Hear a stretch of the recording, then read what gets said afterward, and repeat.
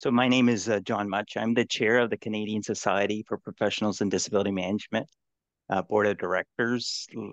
And at this time, I'm coming to you from the unceded ancestral lands and the traditional territory of many nations, including the Mississaugas of the Credit, the Anishinaabeg, the Chippewa, the Haudenosaunee, and the Wendat peoples, and is now home to many diverse First Nations, the Inuit, and Métis people. We also acknowledge that Toronto is covered by Treaty 13 with the Mississaugas of the Credit. And on behalf of the board, welcome to this special webinar recognizing the significant achievement of disability management practitioners who successfully completed the certification process in the spring of 2023 and in and joined the global network of CDMP CRT WCs professionals across 22 countries. Today, we will hear from progressive leaders in disability management and we'll close with the launch of a new video showcasing leadership in disability management.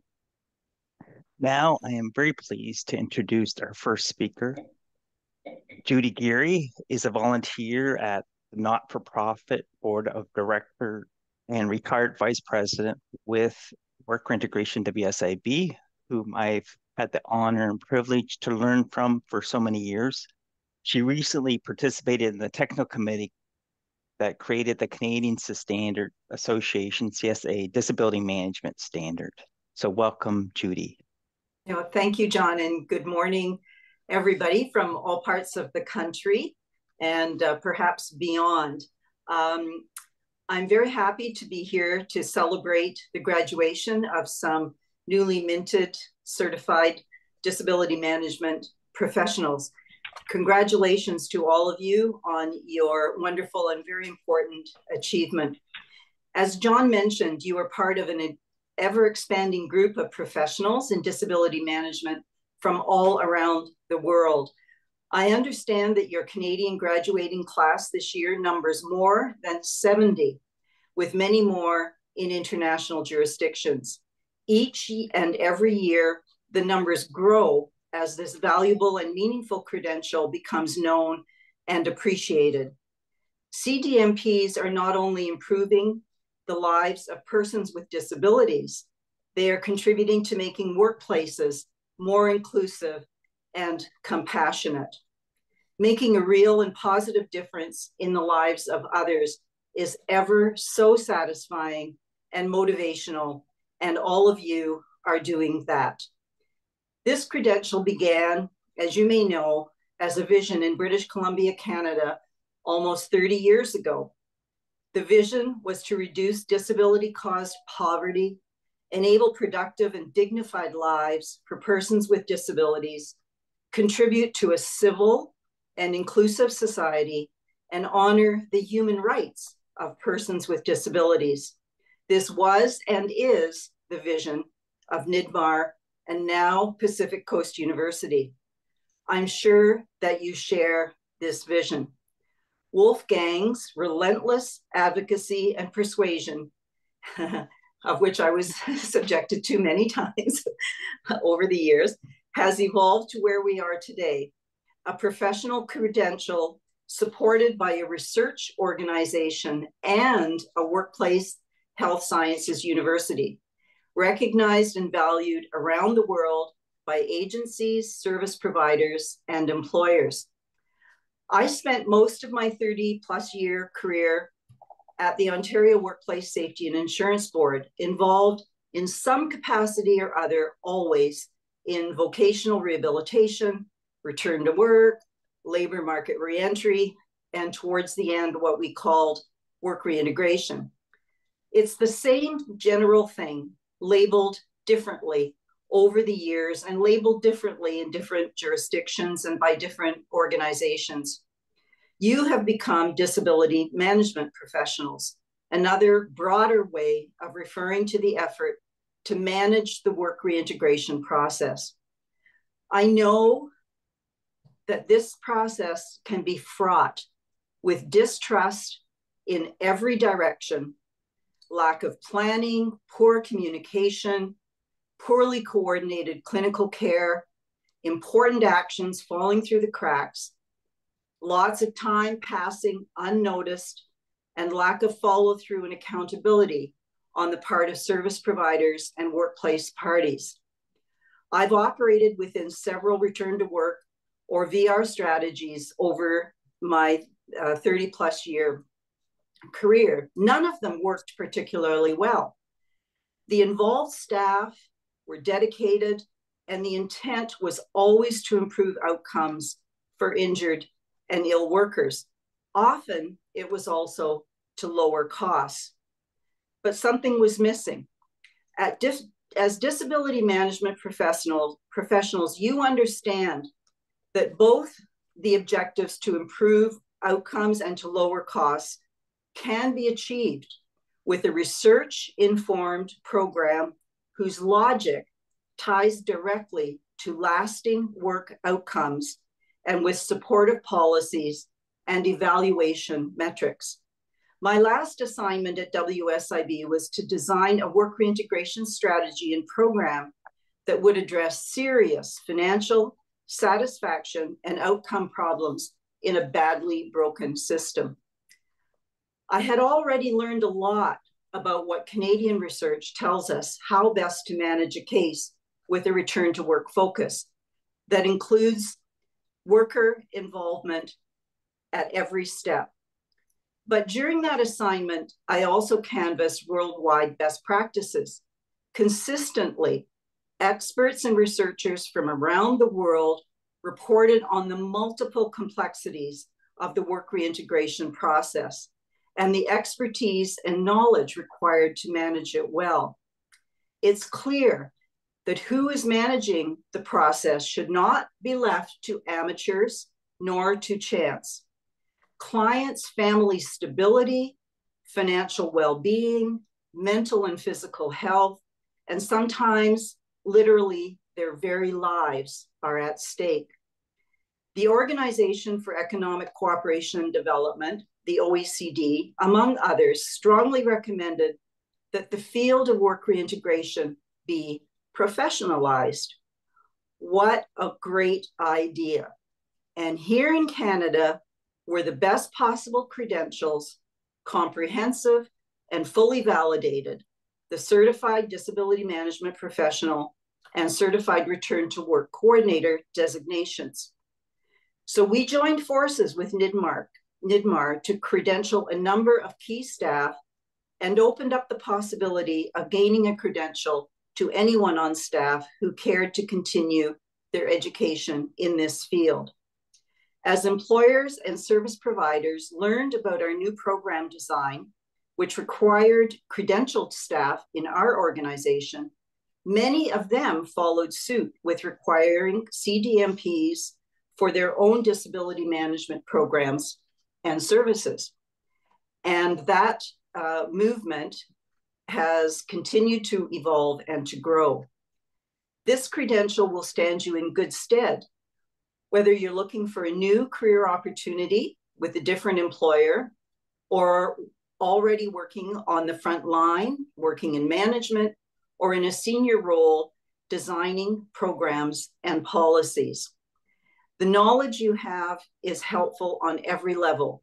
You now know best practice in both individual case management, service delivery, and in program design.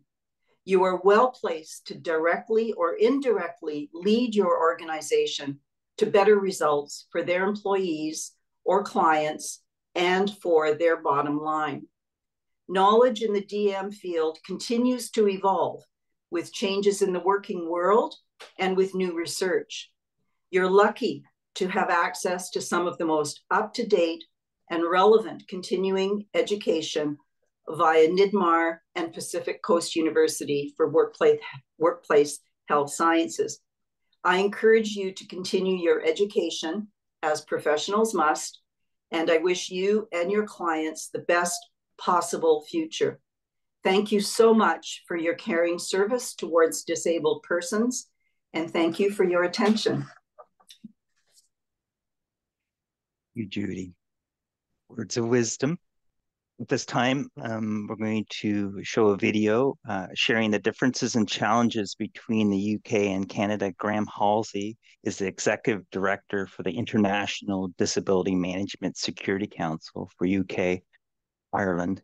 He oversaw the original delivery of the CDMP award into the UK in 2006 and led the introduction of NIDMAR education certification and audit process in the UK.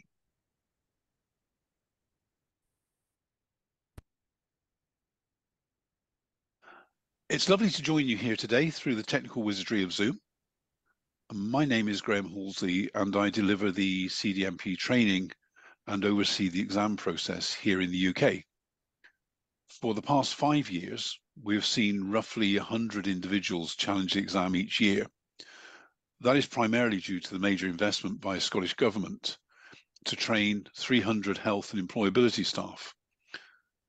But other insurance and rehabilitation companies use the CDMP designation as a standards mark that set them apart from their competition and assist them to achieve government contracts.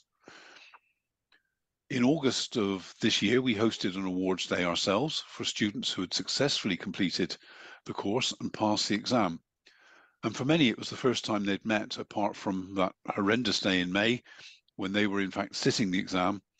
And I, of course, was relaxing at the front of the building, working with a team of invigilators telling them everything will be fine. For most of them, it was fine. I accept that they had a brilliant course facilitator, but that, of course, is boasting.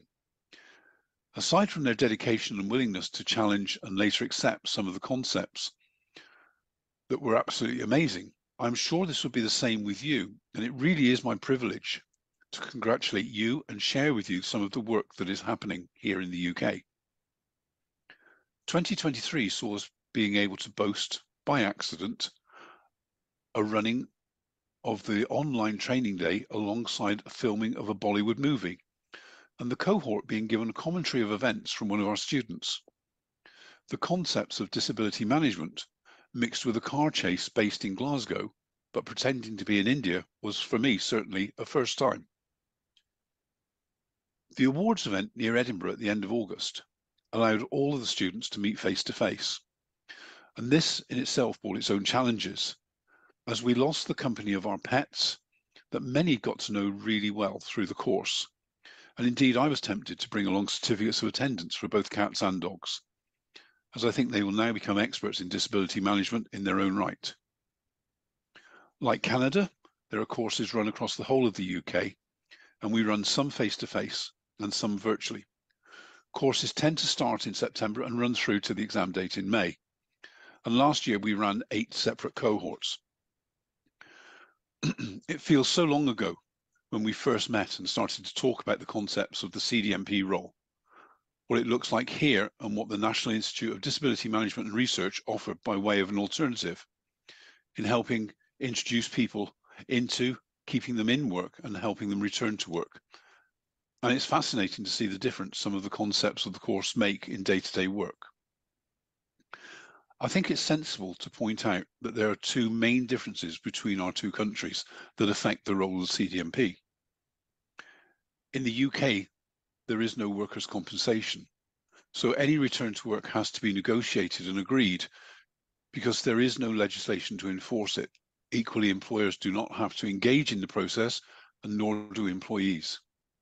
So the CDMP role has to include negotiation and no little persuasion as one of its core skills and the NHS provision in the in the UK, where treatment is free at the point of need for all citizens.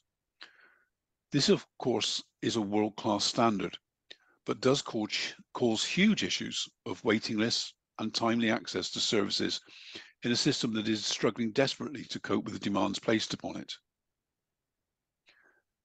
In lieu of this, I remember discussing with the groups, what are the things that we need to consider when helping someone return to work or enter the workplace? One of the key ones was what's in it for the employer. And this, of course, has not changed. We need to work closely with employers at all stages to get their buy-in, get their support, their understanding. Because unlike the CDMPs, most of them do not have training or understanding in the needs of people with long-term health problems or disabilities. but we continue to make huge expectations of them when we talk of the need to make reasonable accommodations. And when things go wrong, how often do we say the employer didn't do their part? We train students in the concepts of disability management. They sit and pass a challenging exam. And then what? Some will go back to their existing job and continue, but the role of the CDMP can have influence in a number of places and a world of opportunity can open up for you. A CDMP can work within an HR team of an organization helping to manage sickness absence, reporting directly to senior management on the rate of absence, the cost of absence, on the success or otherwise of policies on the influence their interventions are having. Indeed, our colleagues in the Shetland Islands, north of the whole mainland of the UK, in fact, nearer to Norway than it is to the UK, are currently adopting this approach and following their attendance on the course are making huge differences to the way they manage their absence and disability management processes.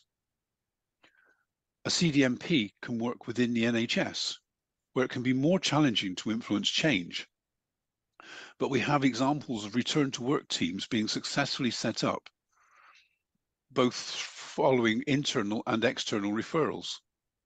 And only last week, I saw a publication from a large NHS establishment in Forth Valley near to Edinburgh, talking of the success of their team, several whom of whom have achieved the CDMP designation.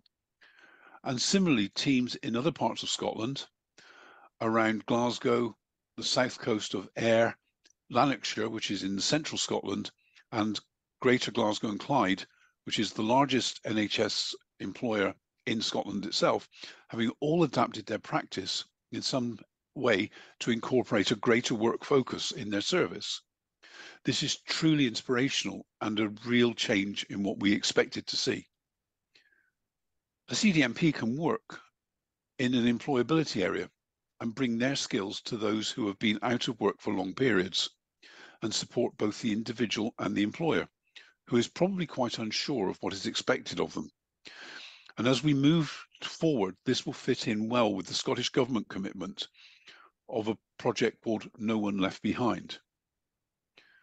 We now have excellent examples of the existing individual placement and support IPS services being enhanced when teams, including the health professionals, all use CDMP as the common language. Similarly, this helps engagement with the teams in job centres.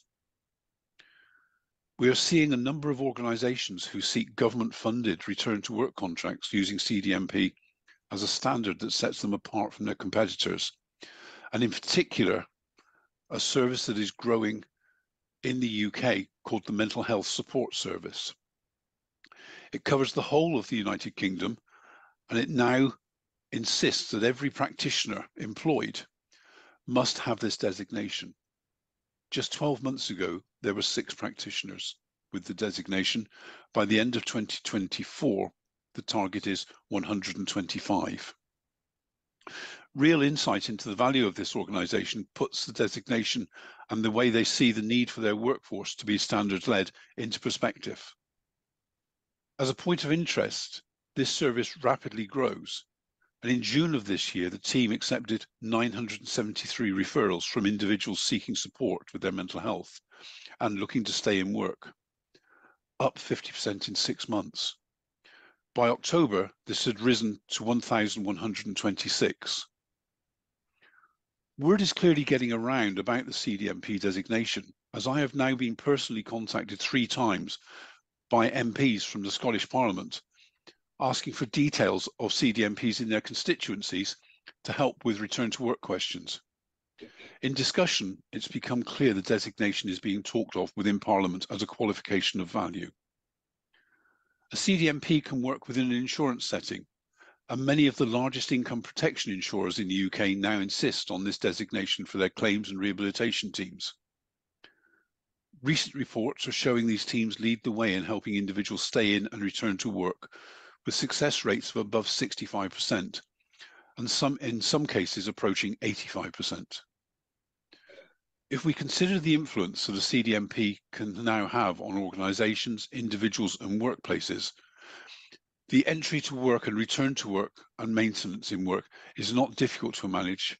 Imagine the influence they can have in supporting the government's initiatives of reducing the disability employment gap, which has remained stubbornly difficult to move over recent years and has actually risen again since COVID-19. We should also think of the problem of these economic inactive individuals on the benefit they and indeed society would gain from the skilled input of teams of individuals all talking the same language, whether it be health, benefits, or employment. The argument does seem compelling. Let me take you to a small island south of the coast of England, nearer in fact to France, but it forms a group known as the Channel Islands. It has a population of 100,000 people and is famously known internationally as a tax haven. Indeed, this island has members of the government whose sole task it is to attract billionaires to live there. Despite being part of the United Kingdom, Jersey does not have access to the National Health Service, and their benefit structure is completely different to the ones seen within the mainland meaning that people have to pay to see their doctors, and their law states that if they ha have or are in receipt of sick notes, they're not allowed to undertake any work activity. And this is, of course, includes return to work practices, graduated return to work, or transitional work programs. The government of Jersey, after consultation, has decided on a pilot scheme initially moving quickly to consolidate its system to introduce early intervention and support for return to work for conditions such as mental health and musculoskeletal injuries. CDMP will be at the heart of the training for both health, HR, employability staff on the island, and the government is supporting this initiative wholeheartedly. The challenge will be to move from a medically based model to a biopsychosocial model, but there is a real desire for change. Within a year, the project will move on to long-term benefits and also focus on how employers' needs can be met as return to work becomes a focus, not just paying benefits.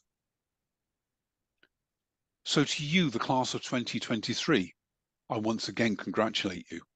And I look forward to staying in touch with you all.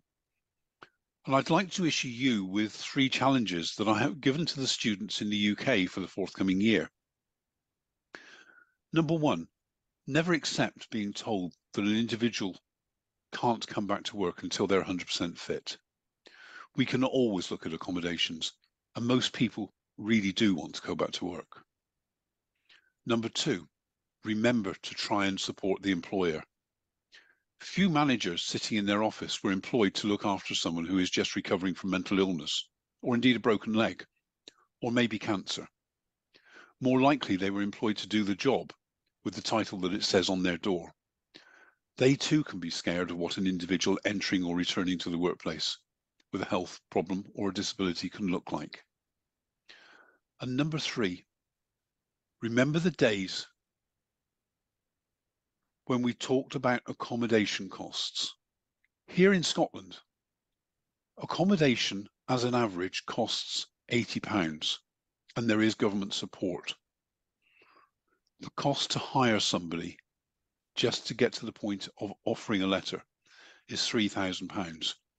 I'm sure the rates are similar in Canada. It is actually a no-brainer to look at how someone can enter, remain or return to work without the need for an employer to go down the recruitment route. I really hope you enjoy the remainder of your day, get to know some of your colleagues and stay in touch. The experience shared is invaluable. Thank you.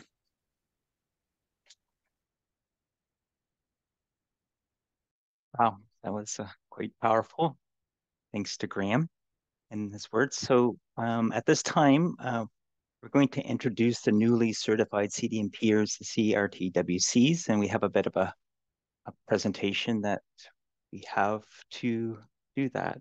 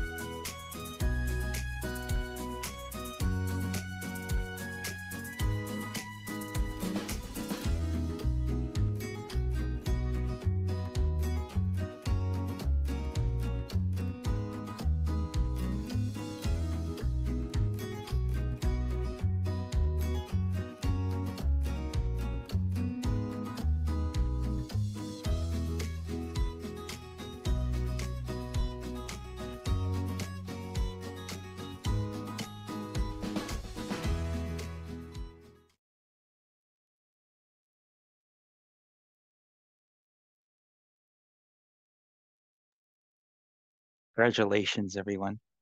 Well done. So at this time, um, we want to introduce Wolfgang, bringing a lived experience and dedicated leadership in improving return to work outcomes for disabled workers. Wolfgang Zimmermann is the executive director of NIDMAR and president of Pacific Coast University for Workplace Health and Science. So Wolfgang. Great, uh, thanks a lot. Um, uh, John, I appreciate the uh, the opportunity to just say a, a few words, and uh, certainly uh, listening to uh, Judy of uh, literally decades gone by. A great pleasure working together, trying to move this agenda forward. I mean, and of course with with you, John, um, as well. It's it's a it's been a, a, collective effort as we try to make a bit of a difference, and it those in the, those few moments that um, that I have, uh, I uh, you know, it, it's tremendously gratifying to see um, what has uh, what has developed because uh, when uh, when I got hurt uh, in a logging accident, and I'm dating myself here, some 46 years ago, there was literally no support. We didn't have duties to accommodate. We didn't have ILO standards. We didn't have ESA return to work guidelines, and the work that um, all of you are are doing is is incredibly important in in terms of trying to make a difference, particularly as we today realize the um, what we call the one plus one reality, uh, which is uh, starting to be recognized at all levels, and that is really the fact that uh, the latest uh, data indicates that if you've been out of work as a result of a disability, have a 1% or less chance on average of, uh, of ever going back um, to work. So uh, this is really uh, tremendous to um, to see that that uh, all of you will be able to to make a difference. And I guess the part that uh, that I see where this is most is important is really understanding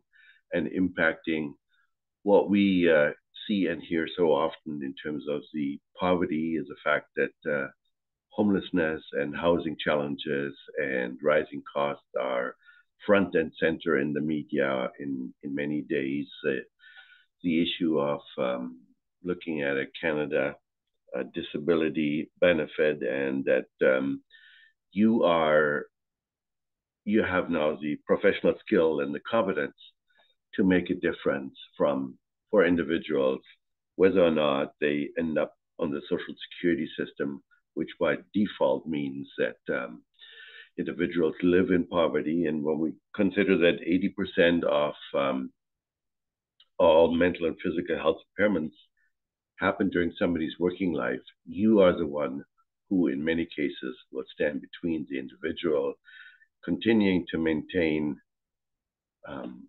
equitable opportunities at all level. I've been fortunate uh, to have been able to carry on working over the past many decades because of the support of the employer and the support of the union, which was absolutely uh, pivotal in this um, in this um, regard. Um, one of the key things is, of course, as many of you are aware, is that the uh, and this builds on uh, Graham's excellent comments and and his his leadership that the Belgian government, as of January 1st last year, requires uh, a CDMP designation for anybody that works in return to work across across uh, Belgium, and that individuals had from the start of the introduction or when the legislation became law on January 1st, 22, they had two years to obtain that. And um, in a similar vein,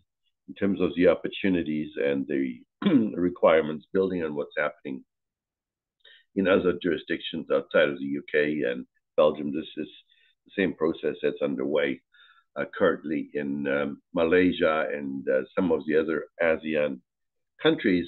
We have an initiative uh, underway that's funded, uh, fully funded by the federal government, the provincial government, where um, individuals who are applying for disability social assistance can um, have access to a CDMP in order to identify potential creative solutions, as I always call, um, the, the three C's of effective disability management is, which is creativity, collaboration, and commitment. This is a very uh, unique um, initiative under the leadership of the former Minister for Social Security uh, and um, and uh, Poverty Reduction uh, here in BC, Shane Shane uh, Simpson, and is is really completely aligned in in trying to support individuals that are at risk of losing their job, don't have any other structure to uh, draw on, and you have to be a, um, a CDMP in order to qualify for participating uh, in this effort. And you can expect to hear from uh, the project director, Bill Dyer, over the next uh, little while whether or not this is something you may want to be uh, interested in, in participating in. Certainly, the government of um, Belgium and other jurisdictions, as, as Graham mentioned, have identified as part of a national policy conversation that return to work is a national healthcare priority. The impact and the potential that effective return to work um, can have um, on the um, on the uh, individuals. So you've done a, a, tremendous job. You've got a tremendous role um, in um, in in front of you in terms of trying to make a difference for an individual who has acquired a mental or physical health um, impairment of um, being able to be a equitable member of of our society in terms of the uh, development uh, back in um, 2018 we had, excuse me, we had signed an agreement with the Inter-American Conference on Social Security, CISS, which was founded in 1942. It is a technical and specialized international organization which has the objective of promoting the development of social protection and security in the Americas. As a result of um, the impact of uh, COVID, um, we um, uh, the uh, the discussions ground a bit to a halt. Uh, CISS is headquartered in Mexico City, is part of the UN uh, structure and UN United Nations um, uh, family. And um, a few months ago, uh, we started re-engaging with them at their request because the uh, whole notion of disability inclusion and recognizing that employers who don't accommodate their own employees will never adopt a functioning disability inclusion strategy. Uh, CISS re-engaged with us and they are now committed and CSS involves 91 countries in the Americas which is South America, Central America, North America, as well as CARICOM, which is the Association of uh, Caribbean uh, States, towards adopting our education program as well as the CDMP as a desired professional uh, standard. So what that will mean as part of our uh, detailed uh, discussions that we've had recently with the leadership uh, of CSS is that uh, in addition to Malay and French and Dutch and uh, German, um, the education program as well as the CDMP will then be available in Spanish and Portuguese. Um, so you can expect to see a dramatic expansion going forward uh, as a result of this. It's very concrete. It's part of the uh, next um, next year's uh, working plan of CSS that was formally approved. So you can see a dramatic expansion uh, in this area. And we'll probably come back to some of you who may be interested in helping, particularly in the Caribbean, some of those states in implementing disability uh, management uh, programs. Again, my congratulations on a tremendous achievement. You are able to make a huge difference in the lives of individuals with disabilities. And I certainly hope that um, will have the privilege, and I'll have the privilege of meeting many of you in person at um, IFDM 2024, which will take place from September 15th to 17th at the uh, Westin Bayshore Hotel in Vancouver. Having said that, um, I'll hand this back to uh, to uh, into John's capable hands. Thank you, Wolfgang. And thanks for the plug for IFDM 2024 in Vancouver. Um, well done. So at this time, I want to introduce Jennifer Leyen, who brings years of experience from the workers' compensation system and is a disability management consultant instructor at the PCU WHS. And her topic today is the BC WSIB return to work obligations, which come into effect January 1, 2024. So we're all curious and want to hear about this, Jennifer. Over to you. Well, thank you so much. First of all, I have to say, uh, what an honor it is to be here. I mean, I get so excited when I hear about all the new people coming into this industry. Um, as John mentioned, I've, I've been around a long time. I think uh, I went through the NIDMAR program in 1995. And so I've followed Wolfgang and NIDMAR and PCU for all of my career. And the changes that I've seen have been dramatic. Um, back in 1995, it was common to get medical reports saying, not 100%. Come see me back when you're feeling better, and then I'll write you a note. And people were still having bed rest after low back strains. It's a very different world we're in now. And NIDMAR and PCU have just followed the curve and, and led us down the path that it's important. This work that we do and that all of you people, uh, it's important we make a difference. I always consider myself actually a, a worker bee rather than a, a leader because I get the most satisfaction out of really getting down and understanding what it is we do, how we do it, how we can do it better, what the research says. So, as I'm instructing uh, at PCU, the course on Bill 41, the changes to the workers' compensation legislation, I've never seen more engagement from our BC and across Canada students. Because this is another opportunity for us to make a, a change, to make things better with respect to return to work. So thank you for giving me 15 minutes. I'll try to stick to my time. I know we have a busy packed morning. Anytime I talk about legislative change, and I did spend 25 years at WorkSafe, so I have done lots of legislative change in my career. It's really important to think about the intent of the legislation. And we have uh, our Honorable Minister of Labor, Harry Bains, and this is what he said when he introduced the changes. These changes are to ensure that people who are injured on the job know that there is a WCB system that meets their needs. This legislation recognizes the benefits of injured workers maintaining their connection to the workplace. It talks about the cooperation of all parties. And specifically, it speaks to the importance of a timely return to work philosophically, that is exactly what all of us were hoping to hear. Because any, and I know that many of the my colleagues on this call are working in jurisdictions in Canada where there is legislation that's been in place. Um, I think BC is, I think there are eight other provinces and territories that are further ahead than us. So this is a huge step forward for us. The Bill 41 contains seven amendments and this is the last one that's being implemented, as John said, on January 1st, 2024.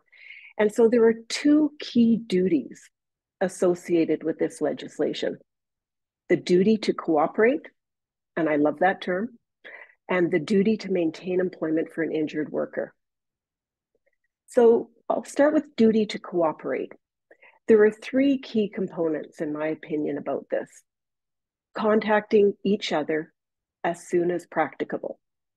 That talks about workers, injured workers, reaching out to the employer, employers reaching out to their injured worker when it's practicable. And they didn't define two days, two weeks, because it really will depend on the circumstances.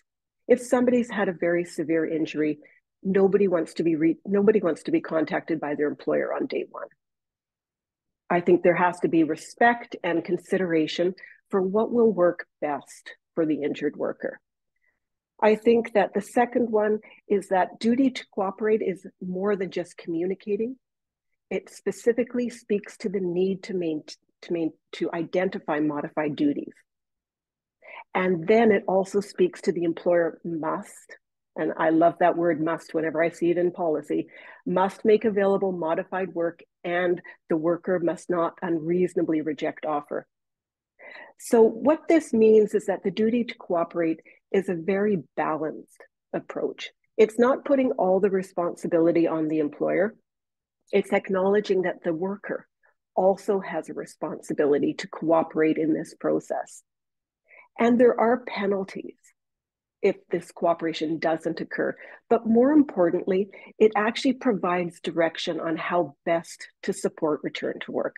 And that's, I think, what for me is probably the most exciting thing about this legislation is it talks about the, the role of the worker. They know what jobs are available. They can have the ability to identify suitable work. And it puts the onus on the employer to make that work available.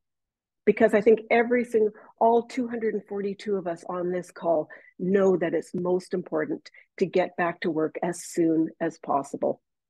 That prevents all the, the things that Wolfgang was talking about in terms of poverty, in terms of impacts on family. So this, these legislative changes will enshrine that and then policy will be developed. And right now it's only draft policy. So we don't have all the answers. And I'm teaching a course right now at PCU on this. And we do have to say all like we don't know how it will unfold, what the what the penalties will look like.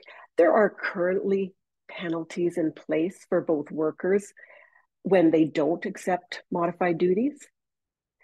And I'm hoping that the policy that gets developed and enacted with respect to the duty to cooperate takes that very reasonable approach. And that's certainly what WorkSafe has been saying. They're going to take a very cautious approach. It's education, it's consultation.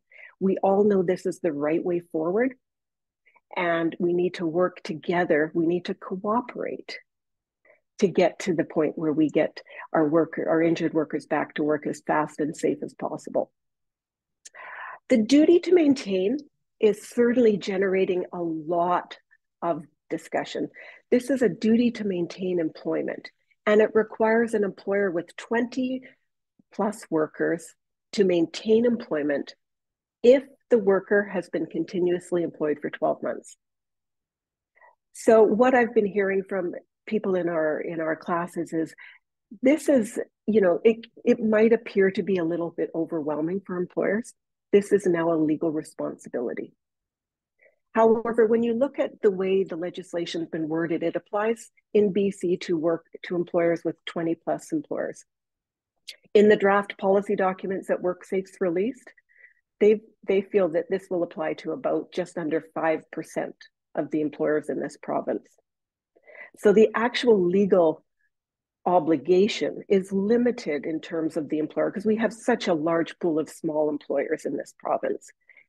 However, what it does is it reinforces the importance of maintaining employment. It, it's going to change the culture with our whole employer community, I would expect. Because what it does is it lays out how important it is to keep work available the second component of duty to maintain is that you have to maintain employment to the point of undue hardship. Now, everybody on this call has probably heard about undue hardship. In the past, that has been either provincially through human rights or federally through Canadian human rights regulated, meaning that WorkSafe wouldn't have had the ability to enforce undue hardship. Now it's enshrined in WorkSafe legislation. So WorkSafe BC will actually enforce, enforce this now. So from my perspective, that's a very significant change. It will allow us to actually encourage those employers that aren't actually directly affected by this legislation that this is the standard. And for those large employers that are directly affected by this regulation or legislation, there is an obligation. So, what does undue hardship mean? It means too difficult, too costly, or unsafe. That is a very high threshold. And I expect that it will result in many, many more individuals being returned back to work with some of these large employers that may in the past have been a little less keen to engage in that return to work process. The third component of duty to maintain employment is they've introduced the return to your pre injury work, the alternative or comparable work, and then suitable work. So, suitable work is a whole new term for WorkSafe BC, and they're defining it meaning safe, productive, and consistent with the worker's functional abilities. So, it doesn't have to be the pre injury job. Alternative work would be comparable work. But now there's going to be this responsibility to really look at new work. What else have you got that does meet this worker's functional abilities? So that's a step in return to work that we've not had in BC before. So again, it, it's exciting. Do we do we really know what it's going to mean? Not quite yet, but it does obviously give us the opportunity to really engage with our employers in this province and talk about functional ability. What is meaningful work? What can we potentially look to? So, with duty to maintain, there is uh, uh, penalties if the employer does fail to comply. Uh, for example, if an employer terminates within terminates an injured worker within six months after providing them with suitable employment, WorkSafe BC can now make payments to the worker for up to a year. So this again is very new within the workers' compensation system. So after somebody has reached, reached maximum medical recovery, normally that is when wage loss replacement benefits would conclude. At this stage now, if the employer is not willing to accommodate, WorkSafe will maintain an injured worker on benefits for up to a year while they do some fairly significant work with the employer to try to achieve a return to work. So, this, in my opinion, is, a pretty significant step. And it's a security, I mean, financial stress on injured workers has got to be one of the most damaging aspects of being disabled. Being able to maintain, maintain somebody on benefits for a year will really relieve some of the pressure. And I think this is a tremendous, tremendous step forward. So, in summary, what do these duties do for BC? An employer must, and that must word is fabulous, make available modified work. And the worker must not unreasonably reject that offer. An employer must, to the point of undue hardship, make changes to the work or workplace necessary to accommodate a worker. And I haven't done a lot of research into what the other jurisdictions are doing. But as we go down this path in BC, I'm going to be reaching out to my colleagues and all of you on this call and start learning how we can help ensure that this new legislation operationalizes the way we need it to, the way that the intent of our government and the intent of this legislation created this path forward so that's that's kind of my very brief overview. Again, these uh, there are lots of details.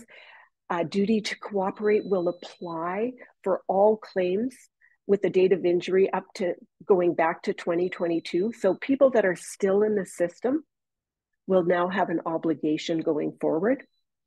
For duty to maintain employment, it goes back one year. So there is going to be lots of changes right away there's going to be the need to start for us as in disability management for us to start thinking about these changes and thinking about how it's going to affect our return to work programs with our employers how we can really look to what the intent is and how we can work with WorkSafe BC to make sure that our workers get the support and the benefits that they're entitled to. So, you know, again, please reach out to me if you want to discuss this further. I, I am so excited at this stage. I think in my career, this is one of the most positive steps forward in helping supporting return to work that I've seen.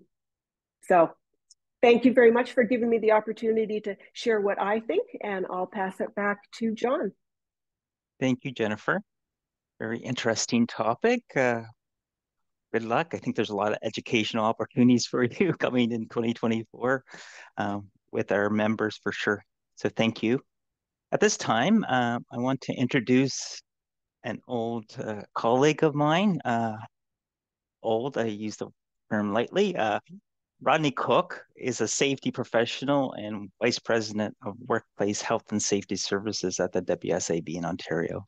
And he's going to give us an overview of the WSIB Health and Safety Excellence Program and SIP Grant Initiative. So welcome, Rod. Thanks so much, John. And I guess I'll start off by saying I've been called worse, so um, this uh, that's okay. it's it's coming from from a great person. So, um, listen. First, I want to say good morning and congratulations to all of you. Uh, I'm thrilled to have the opportunity to speak with you today as you um, embark on your journey and your careers in disability management. The field you've chosen uh, it's just filled with exciting challenges and opportunities. And particularly in uh, our work environment that's rapidly evolving. In the next couple of minutes i want to discuss some of the current challenges that you as disability management professionals might face in today's society. And as i speak i want you to think about how you can help address some of these emerging issues first and foremost I'll start with psychological safety in the workplace as it continues to be a pressing concern. Ensuring that employees feel safe and comfortable to disclose any health conditions or disabilities that they may have is crucial. And we must create an environment where they feel supported without fear of stigmatiz- stigmatization and discrimination. Encouraging open conversations and providing um, resources for mental and emotional well-being will help bring a more inclusive and supportive workplace. Your role will be to help people with mental health challenges thrive in all, aspect, all aspects of their lives, both at work and at home. At the WSIB, we strongly support our people and our clients' mental health. We have a dedicated team of professionals in place to support people with mental stress injuries at work. But of course, our primary goal is preventing harm from occurring in the first place by helping businesses implement strong psychological health and safety programs at work.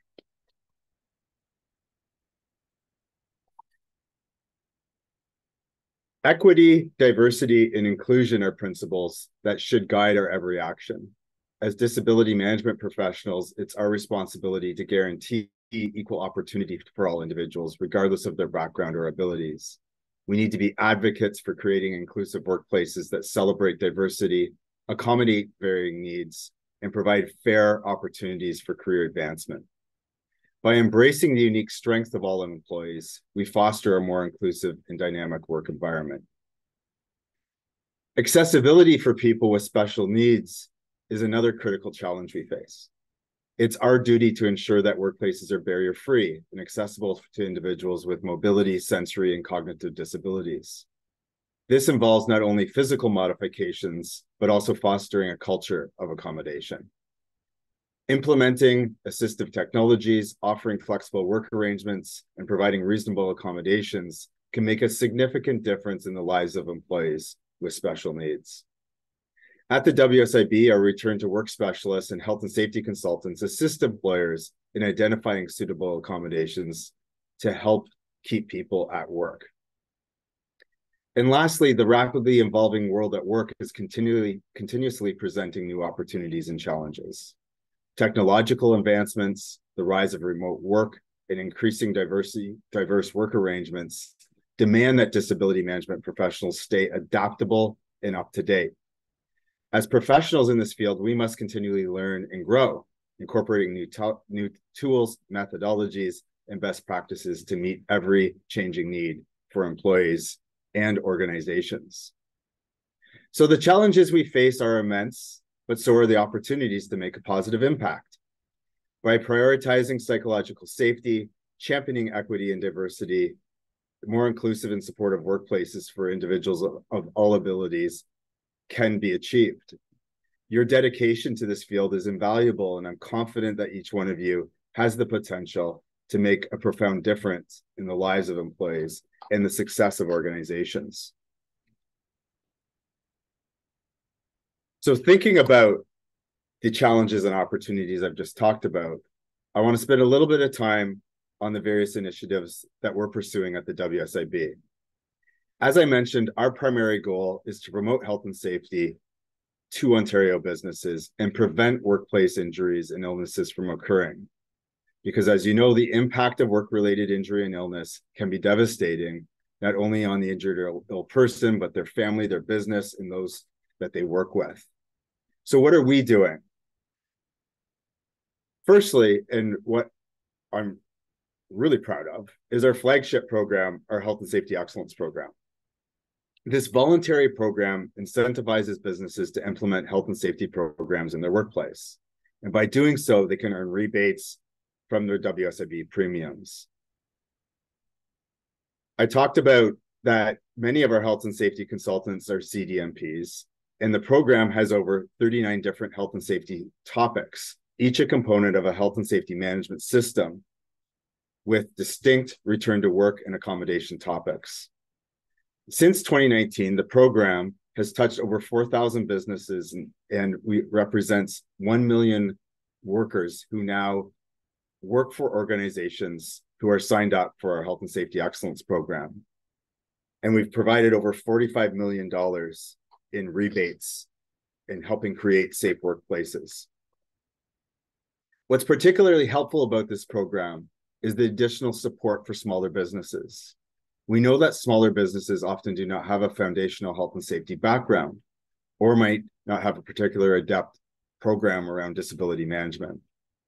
That's why we're helping more small businesses take part in the program by offering further financial assistance. We've doubled the rebates in Ontario for organizations to sign up, for small organizations to sign up for the Health and Safety Excellence Program. I also want to note that we've heavily promoted NIDMAR and continuing education and disability management through our outreach sessions. Over the last couple of years, we promoted NIDMAR grant opportunities to over to hundreds of businesses and have over 4,000 uh, employees who have uh, enrolled in the, in the education program. Another service we've recently launched is what we call our Priority Business Initiative. These are for high need businesses.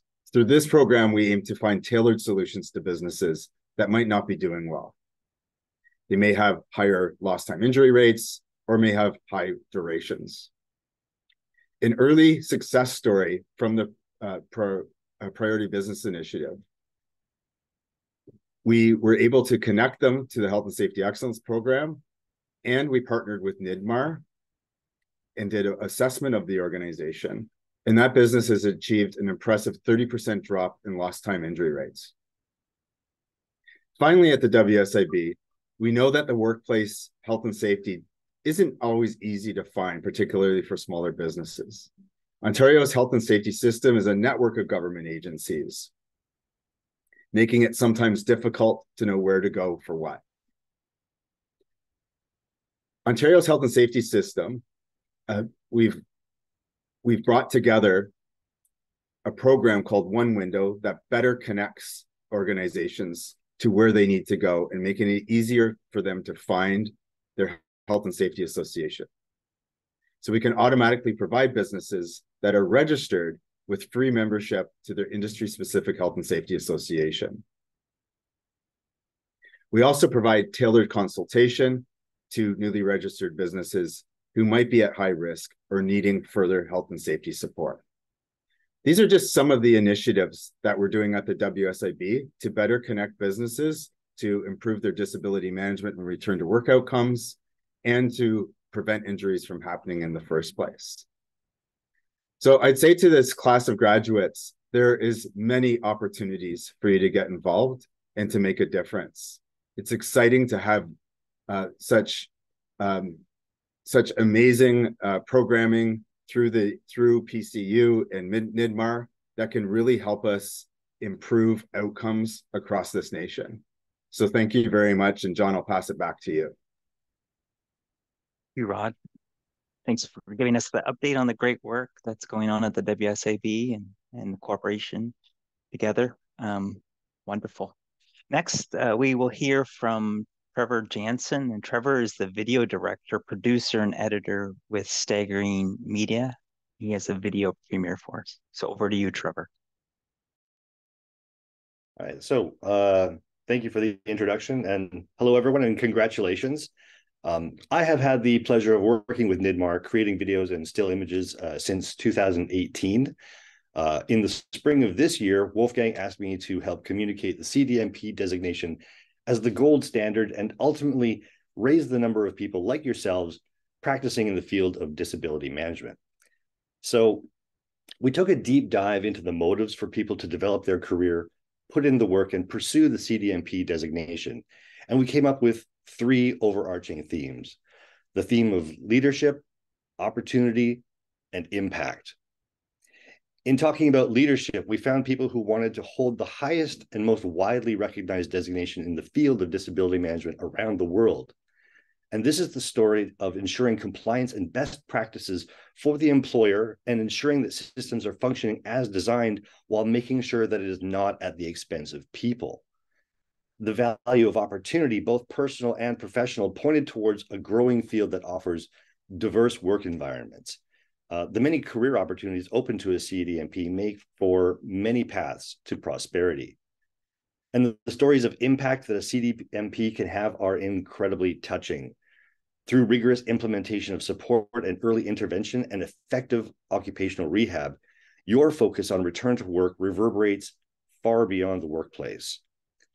I want to say a special thank you to the three CDMPs who embodied these three values with their personal stories Thank you to Rebecca Chow, Vicky Naseby, and Maggie Sun. Without their amazing dedication to the field of disability management, this project would not have been possible. Um, as we watch these stories together, I hope you will all recognize a part of yourselves in each story and feel inspired about your future working in disability management. So without further ado, let's watch these three CDMP stories about leadership, opportunity, and impact.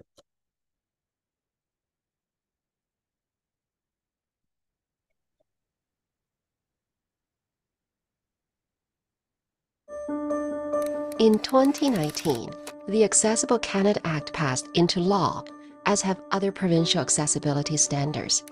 The goal is to create a barrier-free Canada by 2040.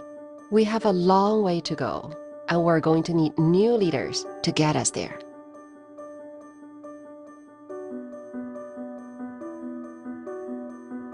My career in disability management started at a federal agency where I got a close and personal look behind the scenes at how disability management professionals approach ill and injured employees, manage their recovery and absence, and enable them to come back to work in a safe, productive, and meaningful way. Now, working in a strategic leadership support role, my job is like walking a balance beam. I need to be aware of various stakeholders and their best interests at different levels. My job is to ensure a balanced and fair approach. It's about making sure bureaucratic systems provide the functions as designed and not at the expense of people. No. The real work, the challenge I enjoy, is in doing things right and doing the right thing. I'm constantly asking myself, what is the experience of a disabled employee? Are all the options on the table? Are we being compassionate? How are we resolving conflicts? And do our solutions go beyond the rigidity of policy? Having a CDMP designation gives me a broad perspective. I see the employee experience from end to end and anticipate where conflicts and barriers will arise. Most importantly, I can see beyond the deliverables, where a disabled employee maintains their connection to the workplace. NIDMAR says the gold standard with its CDMP designation. Just to qualify for the exam requires a wide breadth of experience and education. But once you meet those qualifications, you're prepared beyond return to work and case management roles. In this growing field, HR departments are searching for the right people who can assure the quality of work to be done. They also need to have confidence that your foundation is solid to meet the challenges of changing policy technology, and legislation. The recent pandemic perfectly illustrated how industry can be affected by rapidly shifting workplace conditions that need to be guided by frontline knowledge of equity issues. At the end of the day, it's about making sure our disability management systems are working the way they're designed to be, and we embrace people as people.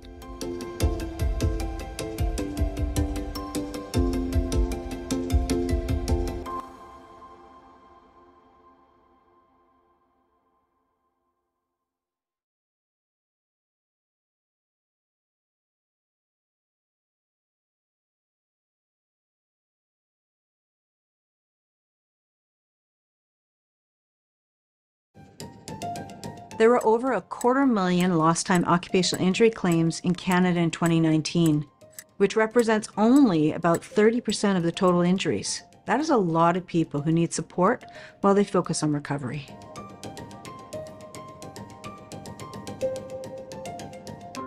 Growing up, my dad worked in the field of occupational health and safety. He was a big influence on me to become interested in ergonomics, safety, and how to set people up for success when they return to work after an injury or illness.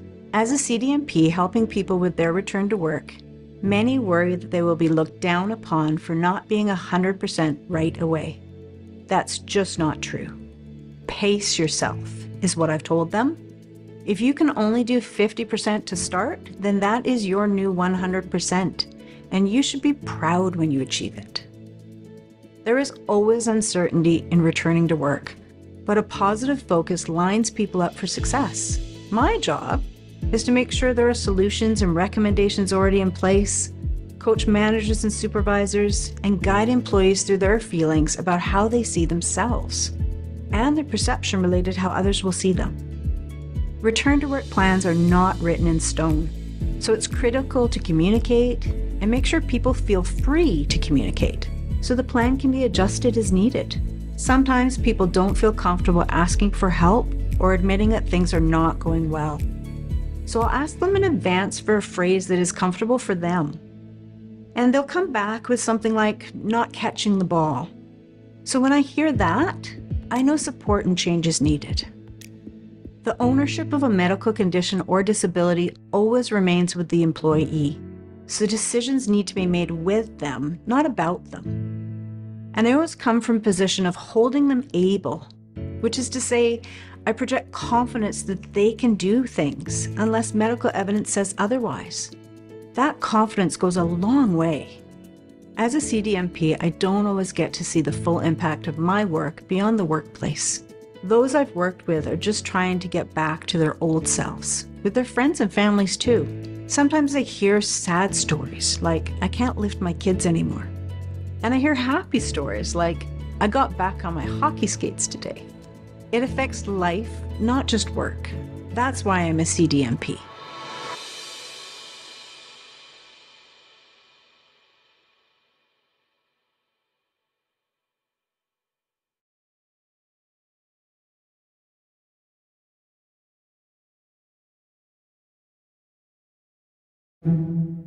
In 2021, there were over 600 Canadian job listings daily in the field of disability management. This is a trend that continues today, driven by developments like the recent return to work obligation under the Workers' Compensation Board legislation in British Columbia. There are a lot of exciting and rewarding career paths in this growing field.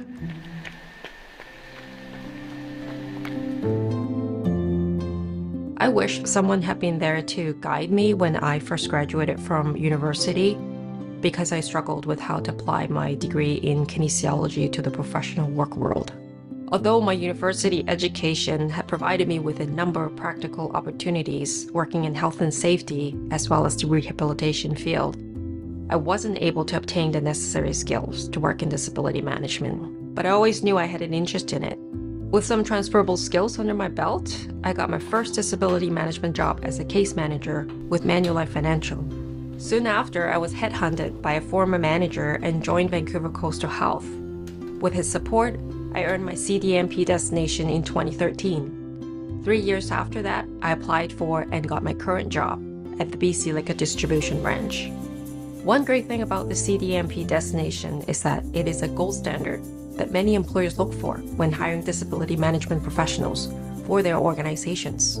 The destination certainly has helped me in my career growth and made me stand out amongst other candidates who do not have the same training. I have worked with many different occupational groups in the last 10 years, managing their disability case files. Maintenance staff, retail associates, nurses, physio, and occupational therapists, care aides, postal workers, warehouse and office workers. The CDMP destination opened up a balance of opportunity and financial gain for me. Not only am I able to work at a job that I'm passionate about, I'm grateful for the financial stability and support that this career offers. I'm a mother of three and work mostly from home, with a few days in the office to maintain my connection to the team. The CDMP destination led me to a career that has been personally, professionally, and financially rewarding, and it has allowed me to build and support my family.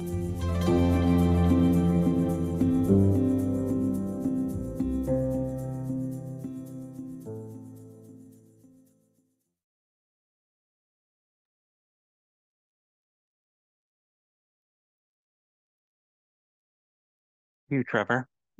Very well done. Very professional. Great messages. So that ends our really full agenda today. I want to thank all the speakers uh, today um, and want to congratulate all the graduation uh, graduates today. I want to also have a special thanks out to Jennifer and Olivia and Lanny who work behind the scenes to make sure that today happens. So thank you. Uh, thank you for joining us, and we recognize the accomplishments of our fellow disability management professionals and move towards to support each other in this challenging and important work. And again, uh, we look forward to our International Forum on Disability Management Conference next year, 2024 in Vancouver. So look forward to, to that and thank everybody and have a good day.